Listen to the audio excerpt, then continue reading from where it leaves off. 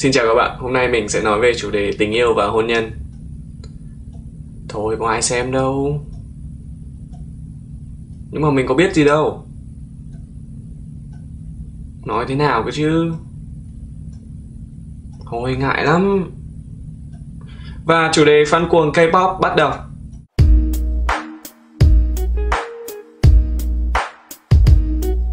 Khi bạn thần tượng một ai đó hoặc một cái gì thì cái chuyện bạn phát rồ phát dại là rất bình thường.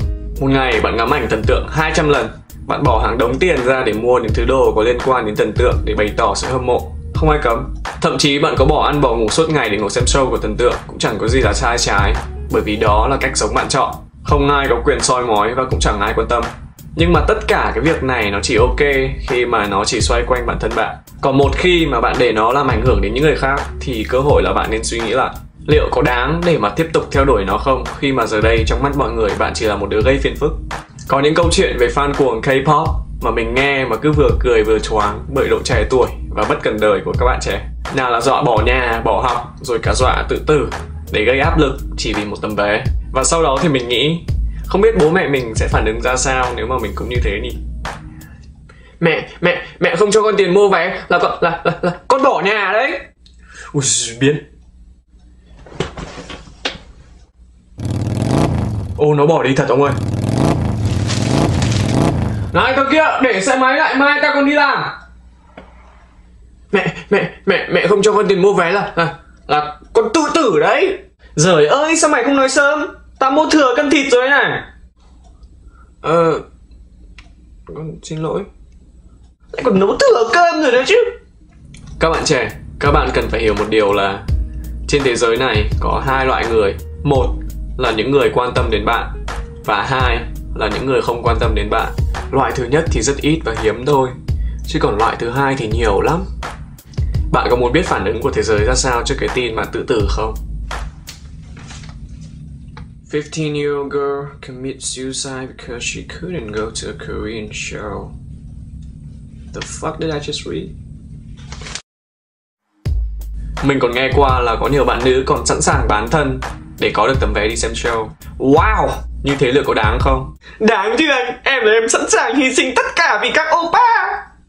Em ơi, cái người mà chuẩn bị pha nghe em ấy không phải là opa đâu mà là cái thằng đang đứng ở gốc cây ấy kìa. Sắp xong rồi từ từ! Thế nên hãy suy nghĩ cho chín chắn, gây áp lực một cách thái quá lên chính những người yêu thương và quan tâm đến bạn và đánh đổi những thứ quý giá của bản thân chỉ vì một chương trình ca nhạc. Liệu có đáng không khi mà bạn vẫn còn chưa biết tương lai của mình sẽ ra sao? Nhưng mà nói qua thì cũng phải nói lại Có một điều khá vui là Người lớn thường hay trách trẻ con bỏ tiền ra cho những thứ vớ vẩn Như là poster, nhạc nhẽo, thần tượng, vân vân trong khi mình thấy có hàng đống các cô, các bác, Lương tháng thì không có bao nhiêu, nhưng cũng phải sắm cho mình bằng được cái iPhone hoặc là iPad. Từ rồi, tự bỏ tiền ra mua, ok, chẳng ai quan tâm. Cái buồn cười ở chỗ là đến lúc mua xong thì lộ ra là không biết dùng, đi hỏi loạn cả lên. Tài khoản iTunes là gì không biết, đến mấy cái ứng dụng miễn phí cũng phải mang ra hàng để cài. Về quan điểm của mình, tất cả những cái tác động tiêu cực kể trên chắc chắn sẽ không tồn tại nếu như các vị phụ huynh biết cách dạy con các vị có bao giờ đặt câu hỏi là tại sao con mình lại thích nhạc hàn không hoặc chỉ đơn giản là chúng nó tiếp cận với nhạc hàn như thế nào Bố ơi cho con đi đá bóng với bọn bạn Thôi nhà đi, đá bóng suốt ngày gãy chân gãy cẳng nguy hiểm lắm Mẹ ơi cho con sang nhà bạn chơi nhé Không được, ở nhà học Con học xong rồi Xong rồi cũng ở nhà Ở nhà thì làm cái deck thì bây giờ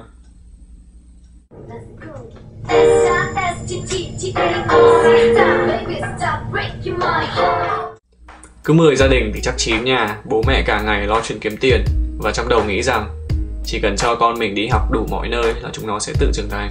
Mình đọc một bài báo về một đứa con, đòi mẹ bỏ ra 2 triệu để mua vé đi xem K-pop, nếu không thì sẽ bỏ học. Cuối cùng thì bà mẹ vẫn mua cho con, mặc dù nhà bình dân chứ chẳng phải khấm khá gì. Sau đó thì mình mới nghĩ, bảo sao con cái hư hỏng? Bởi vì mình vẫn nhớ hồi trước lúc còn bé mình hay đòi mẹ mình mua truyện tranh các thứ. Kiểu có 5 nghìn thôi mà mẹ mua cho con đi. Mẹ mình quay sang bảo là có 5 nghìn thôi sao con không tự kiếm mà mua lại? Ở độ tuổi 15, 16, thậm chí 18, 20 Có bao nhiêu bạn trẻ dám đứng dậy bô bô rằng mình hiểu hết chuyện đời?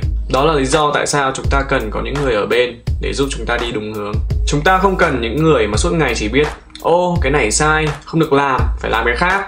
Rồi nếu không làm thì cấm đoán vô tội vạ cái chúng ta cần là một người bạn tâm lý, sẵn sàng mở lòng đón nhận ý kiến và sau đó thì phân tích cho chúng ta cái gì đúng, cái gì sai và ủng hộ và tôn trọng với những quyết định mà chúng ta đưa ra. Bởi vì họ hiểu rằng chúng ta cũng là con người và con người thì mắc sai lầm.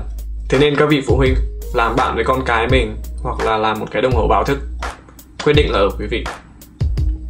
Nói chung fan cuồng K-pop thực chất cũng như hooligan trong bóng đá vậy. Rất cuồng nhiệt và rất nguy hiểm. Nhưng không vì thế mà chúng ta lại đi vơ đũa cả nắm mà phán rằng bóng đá và những người hâm mộ chân chính của nó là vớ vẩn, hại não rồi chẳng có tích sự gì, đúng không? Tương tự với văn hóa Hallyu Hallyu Hallyu Hallyu. Không thể chỉ vì những hooligan K-pop mà lại đi đánh giá cả nền giải trí K-pop và những người hâm mộ chân chính của nó trả ra gì bạn khỏi cuộc sống nhộn nhịp bên ngoài.